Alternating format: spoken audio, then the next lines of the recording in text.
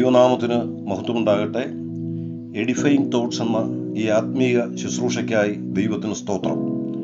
ഈ ശുശ്രൂഷയിലൂടെ ദൈവവചനം കേൾക്കുകയും പഠിക്കുകയും ചെയ്യുന്ന എല്ലാ സഹോദരങ്ങൾക്കും ക്രിസ്തുവേശുവിന്റെ ധന്യനാമത്തിൽ സ്നേഹവന്ദനങ്ങൾ അറിയിക്കുകയാണ്. ഇന്നു മുതൽ ഏതാനും ക്ലാസ്സുകളിലായി സ്റ്റെപ്സ് ഓഫ് ഫെയ്ത്ത് ലൈഫ് വിശ്വാസ ജീവിതത്തിന്റെ പടികൾ എന്ന ഒരു വിഷയം ചിന്തിക്കാം എന്ന് കർത്താവിൽ ആഗ്രഹിക്കുകയാണ്. അതിനാധാരമായി തിരുവഴുത്തിൽ നിന്ന് എടുക്കുന്നത് എബ്രായ ലേഖനം പതിനൊന്നാം അധ്യായമാണ്. ബൈബിളിന്റെ ആദ്യം മുതൽ അവസാനം വരെ നീണ്ടുകിടക്കുന്ന ഒരു വിഷയമാണ് വിശ്വാസം എന്നത്. എന്നാൽ എന്താണ് വിശ്വാസം എന്ന് ചോദിച്ചാൽ ഒരു വാക്യത്തിൽ അഥവാ ഒരു വാചകത്തിൽ നമുക്ക് മറുപടി ലഭിക്കുന്നത് എബ്രായ ലേഖനം പതിനൊന്നാം അധ്യായത്തിന്റെ ഒന്നാം വാക്യത്തിലാണ്. വിശ്വാസം എന്ന വിഷയത്തിന് ഒരു നിർവചനം നൽകുന്നു എന്ന കാരണത്താൽ തിരുവഴുത്തിലെ വളരെ പ്രധാനപ്പെട്ട ഒരു അധ്യായമായിരിക്കുന്നു എബ്രായ ലേഖനം പതിനൊന്നാം അധ്യായം. പതിനൊന്നാം അധ്യായത്തിൽ പഴയ നിയമത്തിലുള്ള അനേക പിതാക്കന്മാരുടെ ചരിത്രം എടുത്തുദ്ധരിച്ചിട്ടുണ്ട്. അവരുടെ ചരിത്രം പറയുന്നിടത്ത് വിശ്വാസത്താൽ എന്ന ഒരു പദത്തോടുകൂടിയാണ് ആരംഭിക്കുന്നത്.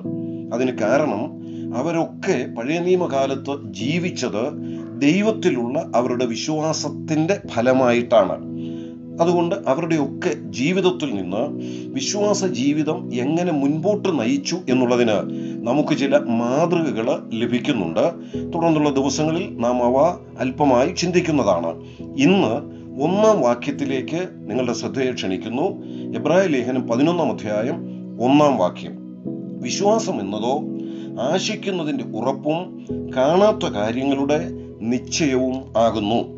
ഈ വാക്യത്തെ അടിസ്ഥാനമാക്കി വിശ്വാസത്തിന്റെ അഞ്ച് പ്രത്യേകതകൾ ഓർമ്മിപ്പിക്കുവാനാണ് ആഗ്രഹിക്കുന്നത്.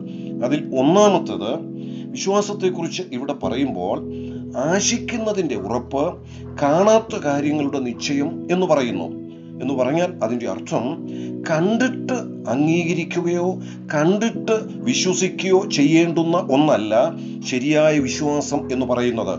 കാണാതെ തന്നെ അംഗീകരിക്കാൻ കഴിയുന്നതിനെയാണ് ശരിയായ വിശ്വാസം എന്ന് പറയുവാനായിട്ട് കഴിയുന്നത്. അതോട് ചേർന്ന് ആശിക്കുന്നതിന്റെ ഉറപ്പും എന്നുകൂടി പറഞ്ഞിട്ടുള്ളത് കൊണ്ട് നമുക്ക് ഇങ്ങനെ മനസ്സിലാക്കാം. ശരിയായ വിശ്വാസം അത് ഹൃദയത്തിൽ നിന്ന് വരേണ്ടുന്ന ഒന്നാണ്. ബൈബിളിലെ ദൈവം മനുഷ്യരെ നോക്കുന്നതും മനുഷ്യരെ വിലയിരുത്തുന്നതും ഹൃദയങ്ങളുടെ അവസ്ഥ കണ്ടിട്ടാണ്. അത് ആരംഭം മുതൽ അവസാനം വരെ നമുക്ക് മനസ്സിലാക്കാൻ കഴിയുന്ന ഒരു സത്യമാണല്ലോ. നോഹയുടെ കാലത്തെ ജനത്തെക്കുറിച്ച് പറയുമ്പോൾ അവരുടെ ദുഷ്ടപ്രവൃത്തികൾ യഹോവ കണ്ടു എന്ന് പറയുന്നുണ്ട്. അതുകൂടാതെ അവരുടെ ഹൃദയത്തിന്റെ നിരൂപണങ്ങൾ പോലും വഷളത്വം നിറഞ്ഞതായിരുന്നു എന്ന് യഹോവ കണ്ടതായി രേഖപ്പെടുത്തിയിട്ടുണ്ട്. ഹൃദയങ്ങളെയാണ് ദൈവം നോക്കുന്നത്.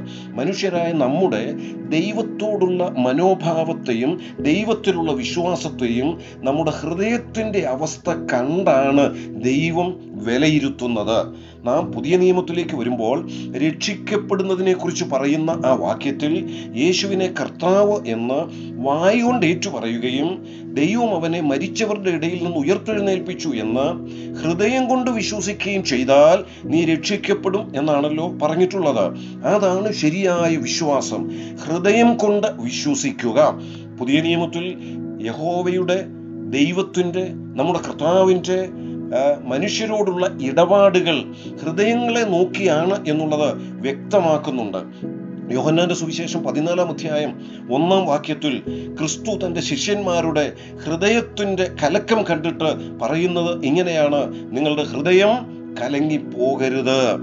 ഈ നിലയിൽ ഹൃദയത്തെ കാണുന്ന ഒരു ദൈവമാണ് വേദപുസ്തകം വെളിപ്പെടുത്തുന്ന ദൈവം. ശരിയായ ദൈവവിശ്വാസം എന്ന് പറയുന്നത് കേവലം സങ്കല്പങ്ങളിലോ കെട്ടുകഥകളിലോ പുറമേയുള്ള എന്തെങ്കിലുമോ കാര്യങ്ങളിൽ അടിസ്ഥാനപ്പെട്ടിട്ടുള്ളതല്ല ഹൃദയത്തിൽ ഉണ്ടാകുന്ന ബോധ്യത്തിന്റെ അടിസ്ഥാനത്തിലുള്ള വിശ്വാസമാണ്. രണ്ടാമത്തെ പ്രത്യേകത ഈ പതിനൊന്നാം അധ്യായം ഒന്നാം വാക്യത്തിൽ തന്നെ പറയുന്നു ആശിക്കുന്നതിന്റെ ഉറപ്പും കാണാത്ത കാര്യങ്ങളുടെ നിശ്ചയവും. രണ്ട് വാക്കുകൾ അവിടെയുണ്ട് ഉറപ്പ് നിശ്ചയം. ഇതെന്താ സൂചിപ്പിക്കുന്നത്? ശരിയായ വിശ്വാസത്തിൽ ഉറപ്പുണ്ട്. എന്ന് പറഞ്ഞാൽ രണ്ടായിരം വർഷങ്ങൾക്ക് മുൻപ് യേശു ക്രിസ്തു ജഡത്തിൽ വെളിപ്പെട്ടു ജീവിച്ചു മരിച്ചു അടക്കപ്പെട്ടു ഉയർത്തെഴുന്നേറ്റു. ഇതൊന്നും നാം നമ്മുടെ കണ്ണുകൾ കൊണ്ട് നേരിൽ കണ്ടവരല്ല. പക്ഷേ നമുക്ക് യാതൊരു സംശയവുമില്ല. യേശു ക്രിസ്തുവിലെ വിശ്വാസത്താൽ നാം രക്ഷിക്കപ്പെട്ടു. യാതൊരു സംശയവുമില്ല. യേശു ക്രിസ്തുവിൽ വിശ്വസിച്ചതുകൊണ്ട് അത്ഭുതകരമായി ദൈവിക നടത്തിപ്പ് അനുഭവിപ്പാൻ കഴിയുന്നു. സംശയമില്ല നമുക്ക്. ഇനിയും നമ്മെ ചേർക്കുവാൻ നമ്മുടെ കർത്താവ് വരും. നമുക്ക് യാതൊരു സംശയവുമില്ല. നമുക്ക് നിശ്ചയമാണ് ഉറപ്പാണ്. അതാണ് ശരിയായ വിശ്വാസം നമുക്ക് നൽകുന്നത്. അപ്പോൾ ഹൃദയത്തിൽ നിന്ന് വരുന്ന ആ വിശ്വാസം നാം വിശ്വസിക്കുന്ന കാര്യങ്ങളിൽ നമുക്ക് ഉറപ്പ് നൽകുന്നു. യേശു ക്രിസ്തുവിൽ വിശ്വസിക്കുന്നുവെങ്കിൽ ദൈവവചനത്തിൽ നാം വിശ്വസിക്കുന്നുവെങ്കിൽ ആ ക്രിസ്തുവിനെയും വചനത്തെയും കുറിച്ച് നമുക്ക് യാതൊരു സംശയവുമില്ല എന്നുള്ളതാണ്. ക്രിസ്തീയ വിശ്വാസം നമുക്ക് നൽകുന്ന ഉറപ്പ് ശ്രേഷ്ഠമായ ഒന്നാണ്. മൂന്നാമത്തെ പ്രത്യേകത ഏഴാം വാക്യത്തിൽ എബ്രാഹിം ലേഖനം പതിനൊന്നാം അധ്യായം ഏഴാം വാക്യത്തിൽ നോഹയുടെ വിശ്വാസത്തെക്കുറിച്ച് പറയുമ്പോൾ നോഹയോട് മഴ പെയ്യും ജലപ്രളയം വരും എന്നൊക്കെ യഹോവ പറഞ്ഞത് നോഹ വിശ്വസിച്ചതായിട്ടാണ് വായിക്കുന്നത്. അന്നു വരെ നോഹയുടെ ജീവിതത്തിൽ മഴ കണ്ടിട്ടില്ല. ചരിത്രത്തിൽ അങ്ങനെ ഒരു സംഭവം ഉണ്ടായിട്ടില്ല. എന്നിട്ടും അത് നോഹ വിശ്വസിച്ചു അതിനനുസരിച്ച് പ്രവർത്തിച്ചു. എന്തുകൊണ്ട് നോഹ വിശ്വസിച്ചു എന്നുള്ളതാണ് വിശ്വാസത്തിന്റെ പ്രത്യേകത.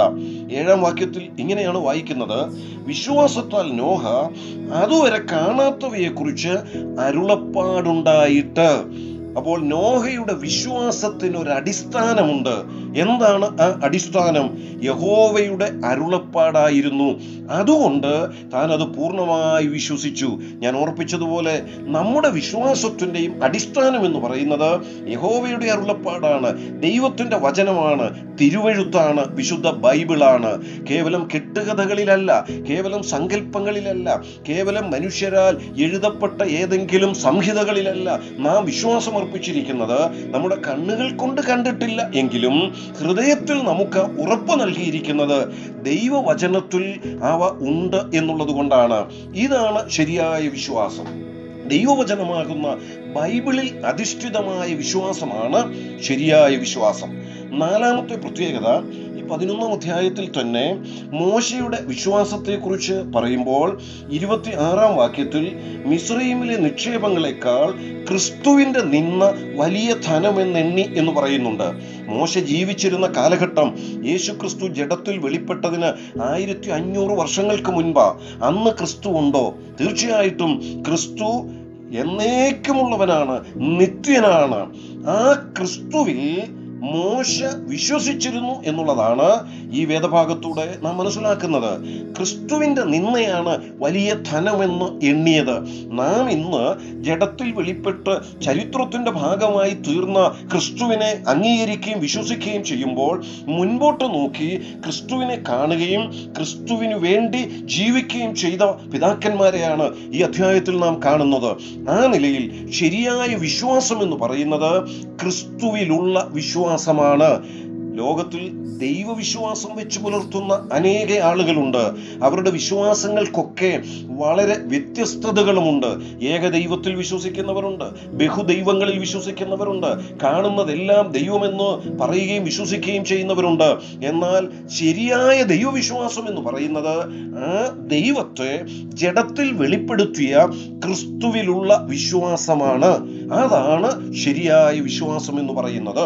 അഞ്ചാമത്തെ പ്രത്യേകത പതിനൊന്നാം അധ്യായത്തിന്റെ ഒന്നാമത്തെ വാക്യത്തിൽ വിശ്വാസം എന്ന എന്ത് എന്നൊരു നിർവചനം തന്നിട്ട് പിന്നീടുള്ള താഴേക്കുള്ള വാക്യങ്ങളിൽ ആ വിശ്വാസം പ്രവൃത്തിയിൽ തെളിയിച്ച് ജീവിച്ച് കാണിച്ച അനേകരുടെ ചരിത്രമാണ് രേഖപ്പെടുത്തിയിരിക്കുന്നത്.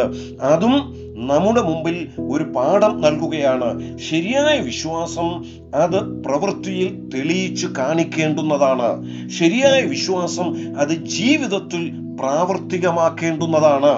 പ്രവൃത്തിയില്ലാത്ത വിശ്വാസത്തെക്കുറിച്ച് യാക്കോബിന്റെ ലേഖനം പറയുമ്പോൾ ചത്ത വിശ്വാസം എന്നാ പറയുന്നത് നിർജീവ വിശ്വാസം എന്നാ പറയുന്നത്.